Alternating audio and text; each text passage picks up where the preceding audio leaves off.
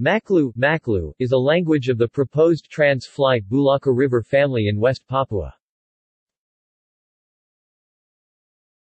References